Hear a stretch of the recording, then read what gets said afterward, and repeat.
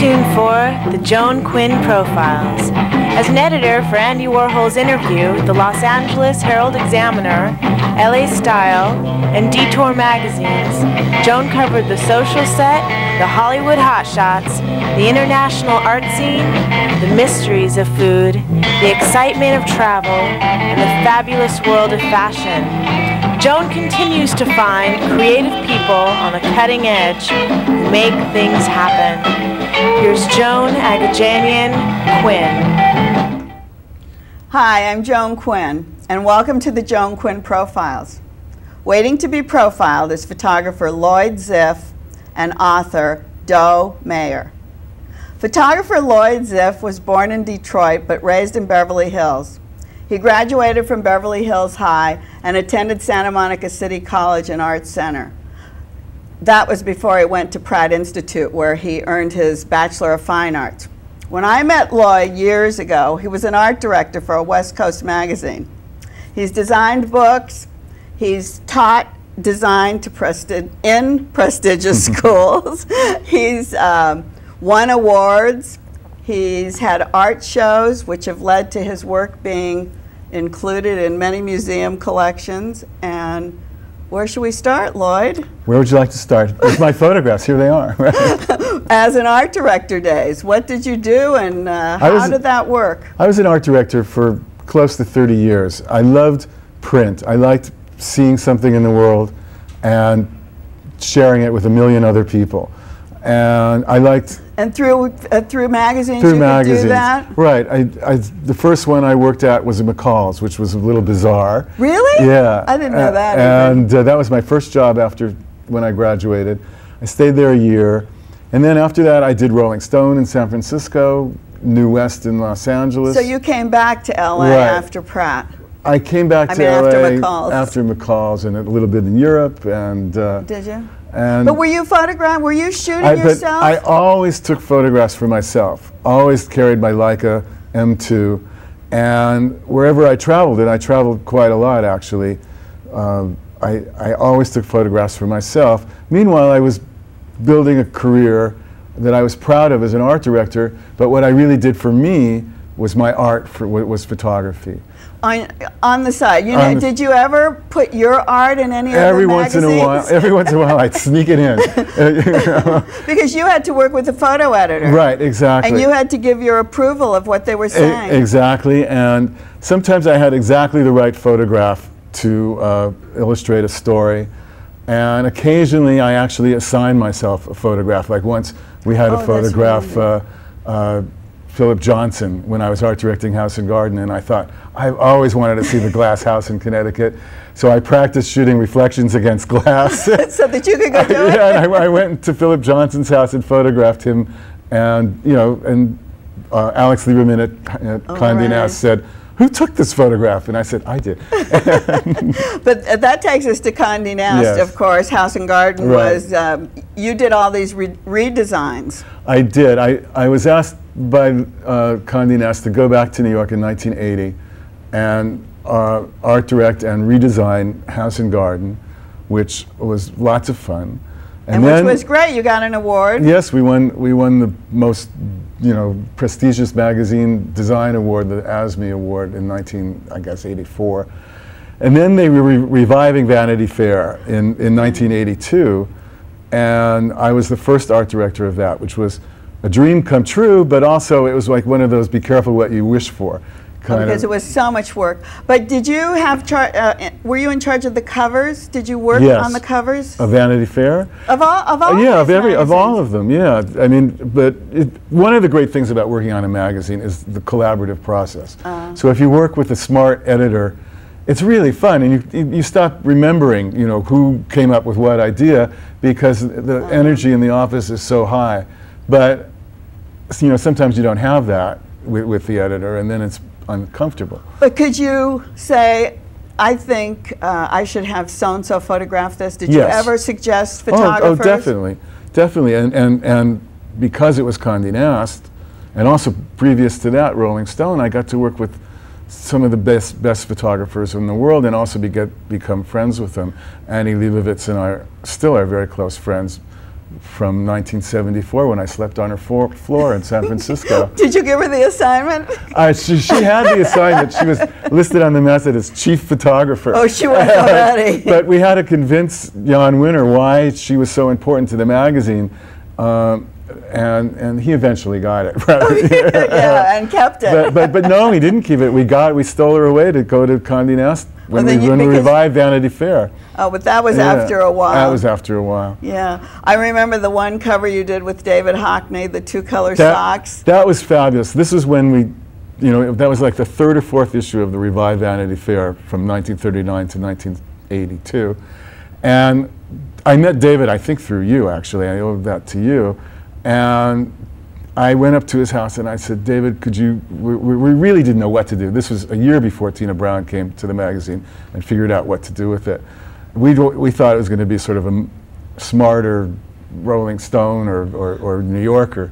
So I asked David if he would do a cover for us, and he just gave me a, a carousel with, let's say, 20 to 40 transparencies, and I picked the one of the of with the multicolored with the two different socks. different socks, which was a really uh, historic photograph, I think, and, It- and because it was shown on that, and as you say, it gets to hundreds of thousands. of Exactly, e- exactly, and that, that was always what I loved about being an art director. You're, besides the awards that we talked about, you won the New York Art Directors Award, the LA Art Directors Award, and for I guess House and Garden, that National uh, Magazine Right. Award, which is the top award. Yeah, it's like a Calder Mobile. Yeah, exactly, exactly, It- and it, yeah, that was very exciting. Uh, it's a big, it's like the Academy Awards of magazines at the at the Waldorf Astoria Exactly. Ballroom. Yeah.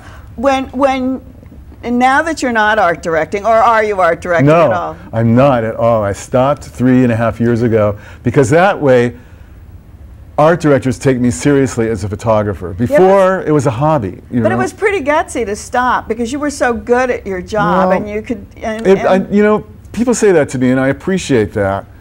But I felt that I had to do that. And I had already accomplished what I wanted to do as an art director. There, I had done many major magazines, and if, if, uh, if I got another magazine, it wouldn't have changed my portfolio in any way, and and and. Um, or, or my resume, and and meanwhile, I would I'd been pursuing be, photography, showing to various galleries, and, and, and, and trying to get people to be serious about my work, as, and as I was serious about my when work. When you go to a gallery, does the gallery tell you what he wants? A gallery director tell you what you should photograph? no, no, You come with a body of work. right. Uh, I, I come with a body of work, and they decide whether they like it or not. And then what about with magazine work? Do they still tell you what to do? Yes, magazine work is on assignment, and uh, And you do a little of that for fun. I, oh, I think, love doing that. yeah, I mean, Condé Nast Traveler sent me twice to Europe. Oh, you right, I really, really beautiful uh, uh, jobs. You know,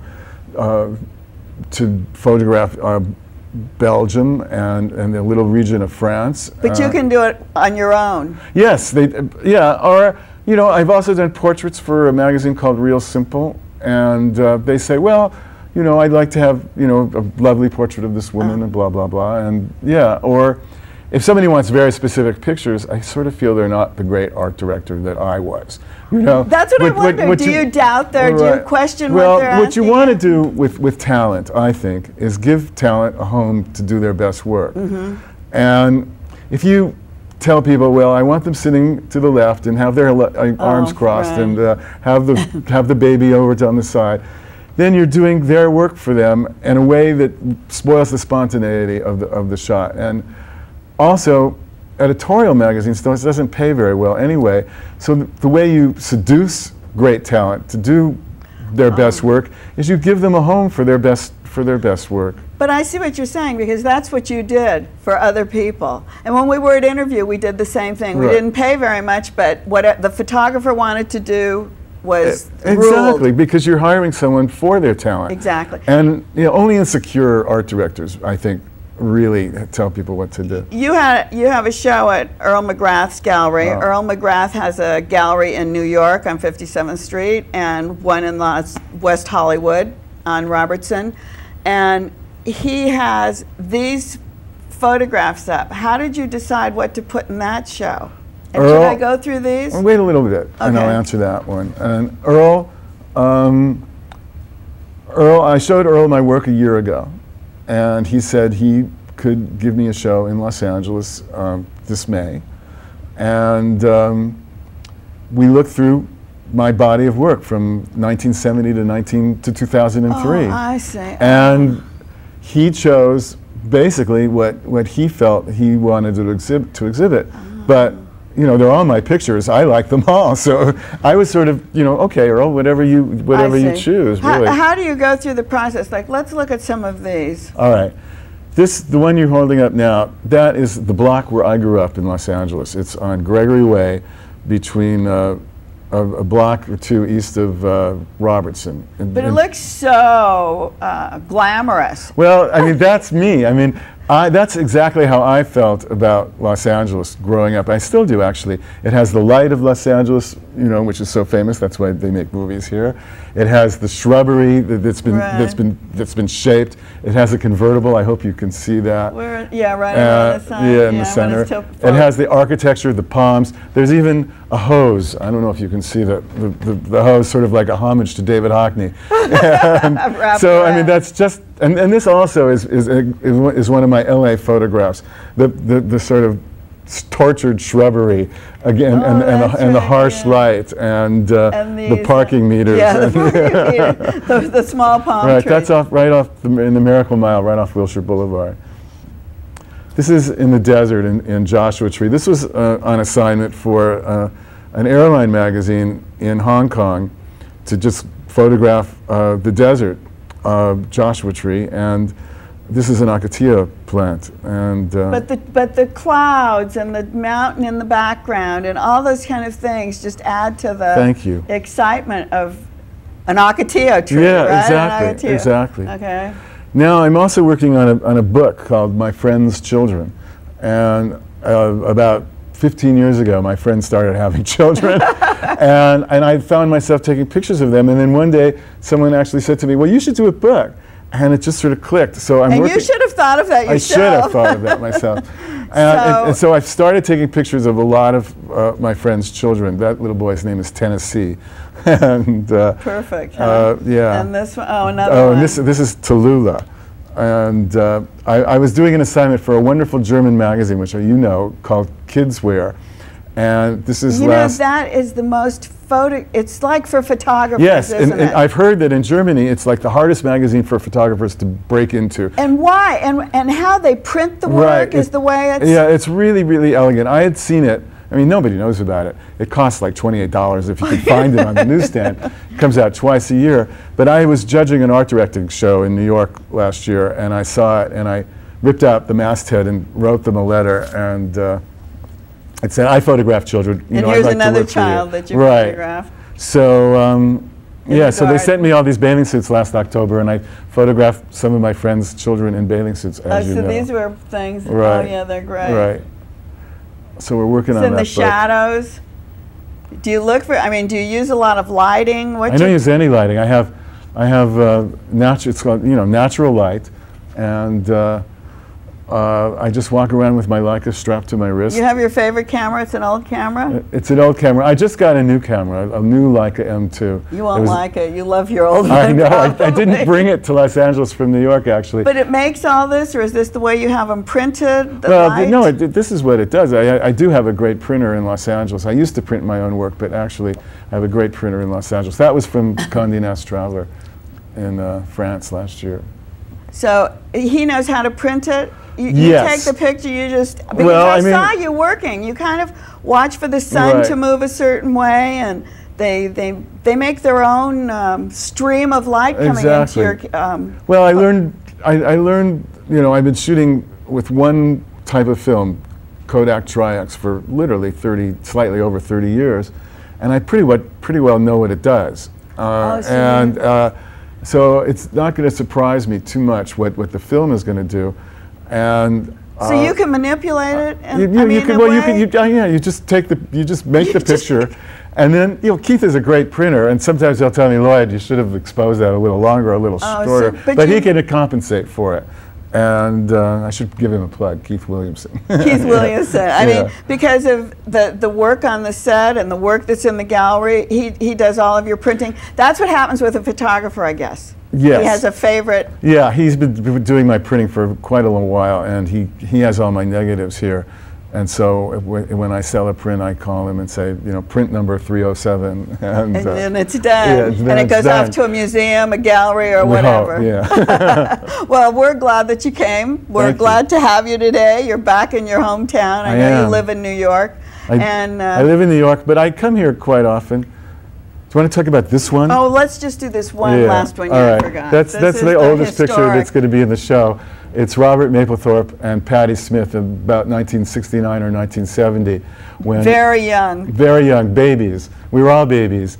And Robert and I had gone to Pratt together and we were good friends. And, and he was living with Patti next door to the Chelsea Hotel. And, and, and he asked me to take some pictures of them. This is before he started taking pictures. Oh, that was so great. That yeah. is historic. Yeah, and we start, and we were friends until he died. And I'm still friendly with Patti if I get to see her when she's not traveling. That's Yeah. great. Thanks, Lloyd. Thank you, Joan. What a treat. Thank you. And thanks for watching this part of the show. Don't go away because we'll be back with Doe Mayer, who will tell us everything about filmmaking.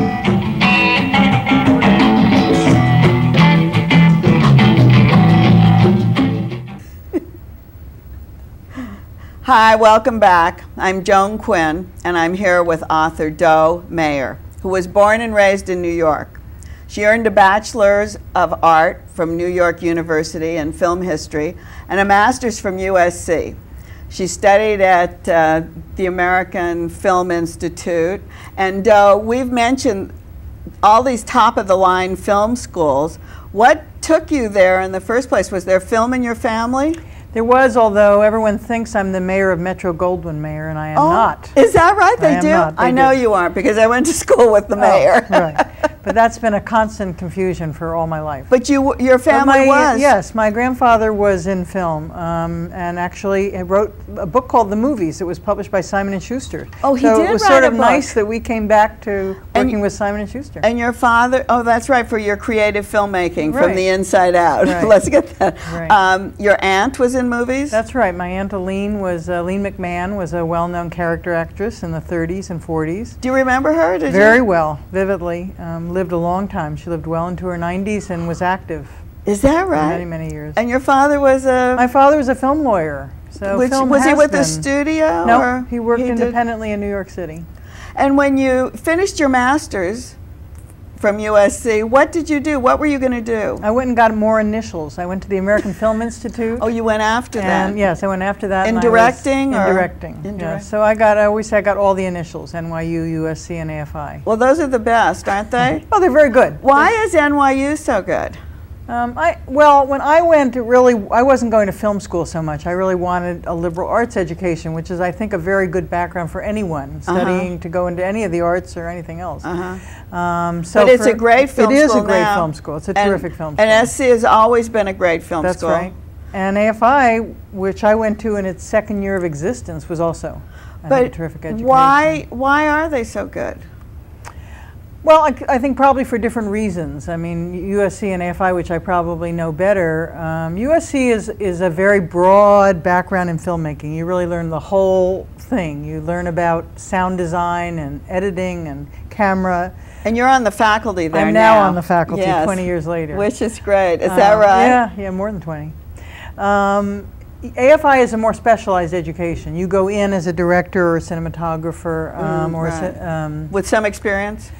Possibly, not always. Oh, um, But it's a more specialized, limited kind of education. USC really wants to turn out a full filmmaker who has the menu of skills.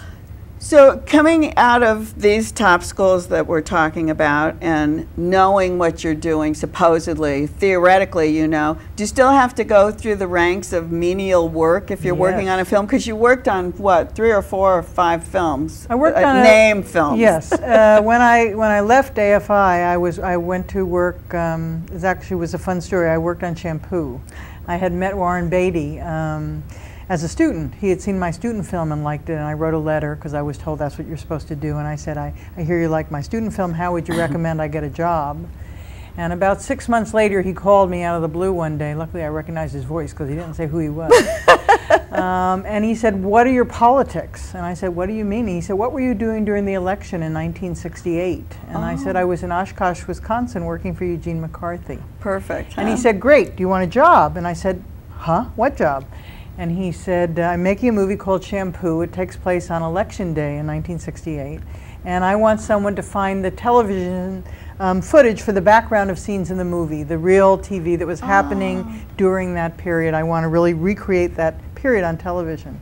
So I and a colleague of mine from the AFI actually went and did all the research and found all the uh, material that was appropriate. And that started me on a very weird path. I was just going to say, I think that took you into documentary Actually, it filmmaking. Yes, it did. It, uh, it did take me. Were you thinking of doing that at the No, no, That's really interesting wasn't. because I know you you teach documentary and you d- is it the same as the, the narrative film? Not really, well, we actually yes. I, th- I mean, there's narrative in documentary as well as in fiction films. You know, people always say that uh, fiction is the narrative and nonfiction is something else, but we actually think that any good film has a narrative, and documentary Um, especially. Especially documentary because you don't understand what's going on if you don't have a Exactly. storyline That's exactly behind right. it. That's exactly but right. For years, documentary has been like the big D, the horrible thing to be in. Boring. I know. Why? I don't think documentaries are boring. There are certainly lots of boring documentaries, and I think many of us got uh, you know brought up on them. Um, but it, I, to me, it isn't at all boring, and I have found it an incredibly vital, exciting part of filmmaking. Um, in our book, one of the people we interview is uh, Renee Tajima Pena, who's a documentary filmmaker. Oh, yeah, I saw that. And um, you know, who speaks, I think, very articulately about creativity in documentary. You know, when you talk about documentary, it's like you have to find a way to make it interesting if you're creative. It's like a one person show. I always think those stage shows are so interesting because they do different lighting or they do different movement on stage or they use different props. And so you have to find that creative process. Yes, and you really have to find the story. You have to find it through character. What goes through- Character yeah. is what makes stories interesting in documentary and in fiction. Um, so you know, in, in many ways, it's the same process, and it, yeah. we have we have this book, Creative Filmmaking, uh, and you you've actually have photographs. I'm going to just show it because I think it's so interesting of real people. I mean, I don't think. The real filmmakers. Yeah, real. I mean, like snapshots of real filmmakers, which I thought was pretty an interesting way to show them. Uh-huh. I don't know. It just seems strange to me. It almost was like if somebody's at, at a casting call, they they know what that person looks like, or if uh-huh, they're working uh-huh, with them, this uh-huh. shows you what what they look like. But um, what was the thinking behind using those kind of photographs? Well, I think the thinking behind the idea was to find 15 filmmakers at all different parts of the process, from documentary, you were on a page there with Renee, to John Wells, who's a television producer, um, to Anthony Minghella, Right, I said that director, right. to, uh, Wal- to uh, Walter Murch, who's a sound designer, and then to take all those interviews with the 15 different filmmakers at all their different parts of the process and try to extract out of that some ideas about creativity in filmmaking. so then after that, you have this list of five key Five keys to the art of creative keys. filmmaking. say right, five keys to the art of creative filmmaking, Yeah. which are Which are inquiry, knowing yourself. Again, something I would argue is important in any kind of creative field, but certainly is important in filmmaking. Um, introspection. Uh, well, inquiry is obviously the broader world. Introspection is knowing yourself. Intuition, sort of the Oh. imagination, the they're all eyes, right? They're all eyes. The five eyes, There right? five eyes. Right. Okay. So, So, the third is intuition. uh-huh. Uh, the fourth is interaction, the, the whole act of collaboration and how important that is to film. And the fifth is impact, um, how film affects an audience, how it affects you, and how you use that to go on and make other kinds of films. So once you've got these five eyes, you go through in, in the book and explain how to apply them, I guess, in filmmaking. Well, we ch- talk to each of these filmmakers about how they use them their own oh, way. I see. You use, oh, Um, they tell they you. tell us. And then we also devised a set of what we call limberings, little exercises you can do for fun.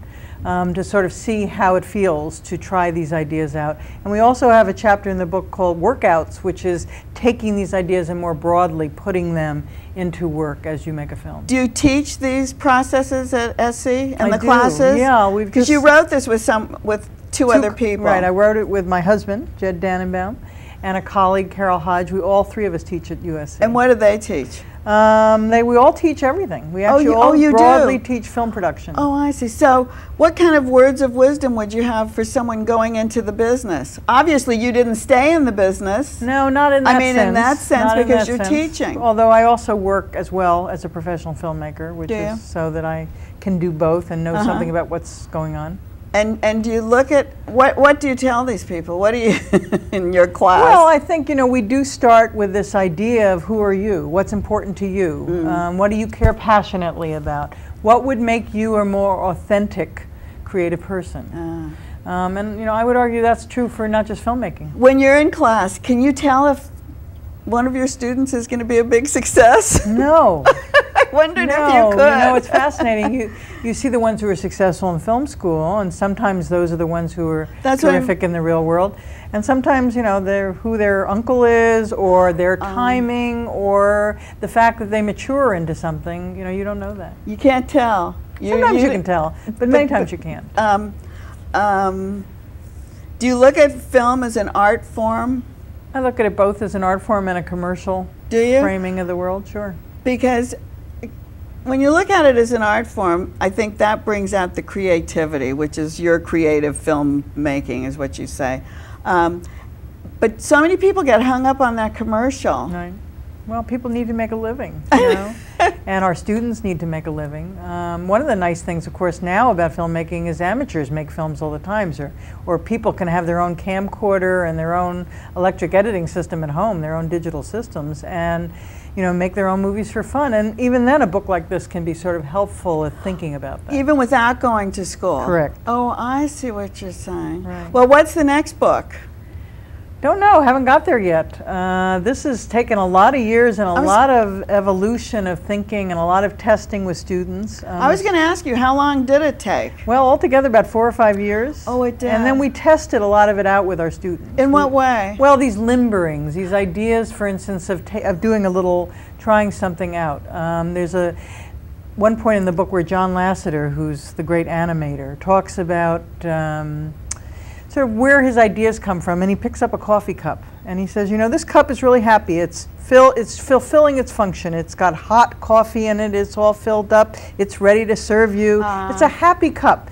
And then he drank some of the coffee, and he said, you know, as the coffee goes out of the cup and the coffee cools up, the cup loses its Oh, it's it's it's, viv, vi- it's, it's, verb. exactly. It's I see. what it is, and it becomes a sad cup. And when it's finished and you throw it away, it's actually the saddest cup in the world. There's mm-hmm. nothing left. So in it. those are the kind of things you. That's very interesting because those bring out your emotions. Exactly. And our emotions are out because we have to stop. Okay. We've finished. Thank you, Doe Mayer, for being with us, and thanks for watching the Joan Quinn profiles today. Keep writing to 777 South Figueroa, 44th floor, 917. Thank, Thank you. you. Thank you.